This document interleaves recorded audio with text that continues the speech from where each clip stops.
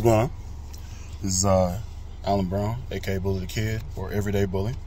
Thank you for joining me.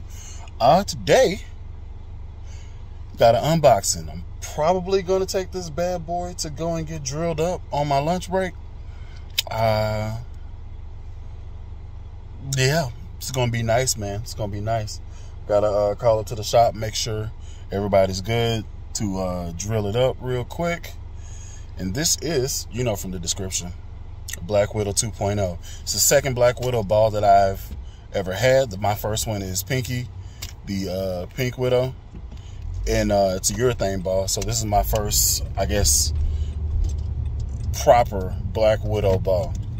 Uh, I kind of went back and forth whether or not I wanted to get this one or get the Ghost. And I decided on this one.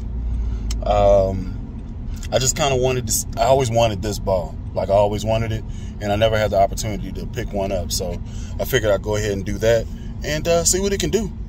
I put a whole bunch of revs on my ball, so it should be disgusting. I don't know if I'm gonna be able to handle it, but uh, it should be good. So yeah, let's go to the shop.